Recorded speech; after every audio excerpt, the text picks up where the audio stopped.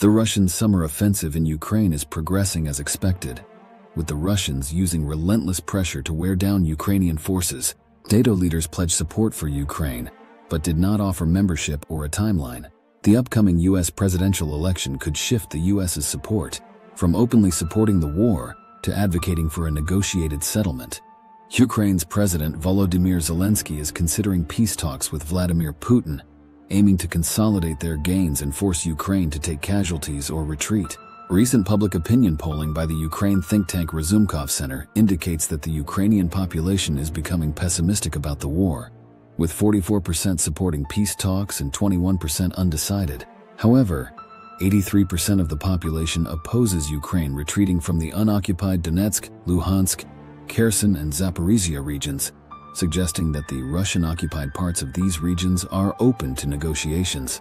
The polls also show that Ukrainians are strongly opposed to enforcing neutrality or non nuclear status in peace negotiations. The poll shows a clear war weariness in Ukraine and a weak support for the new conscription law that drafts younger men into the conflict. The average age of a Ukrainian soldier is in their 40s, aiming to protect Ukraine's future generation. However, the Ukrainian army faces severe manpower shortages, leading to the modification of the conscription law. 46% of Ukrainians believe refusing military service is not shameful, indicating a significant softness in support for the war.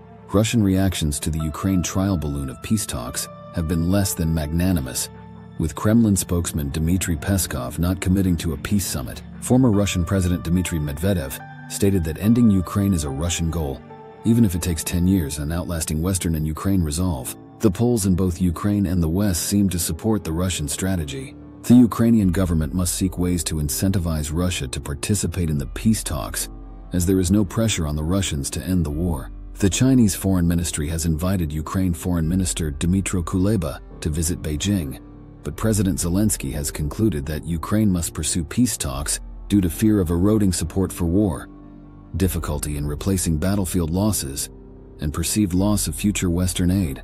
This is a difficult position for the Ukrainians,